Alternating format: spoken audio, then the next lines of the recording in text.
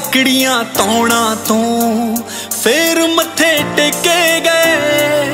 ਤੇਰੀ ਉਂਗਲ ਨੂੰ ਰਿੰਗ ਪਾਉਂਦੇ ਡਾਇਮੰਡ ਦੀ ਹੋ ਛੱਲਾ ਚਾਂਦੀ ਦਾ, ਜੇ ਨਾ ਕਿਤੇ ਮੋੜਦੀ ਹੋ ਜੱਟ ਦੀ ਰੇਂਜ ਵਿੱਚੋਂ ਜ਼ੁਲਫਾਂ ਤੇਰੀਆਂ ਨੀ ਉੱਡਦੀਆਂ ਹੋਣੀਆਂ ਸੀ।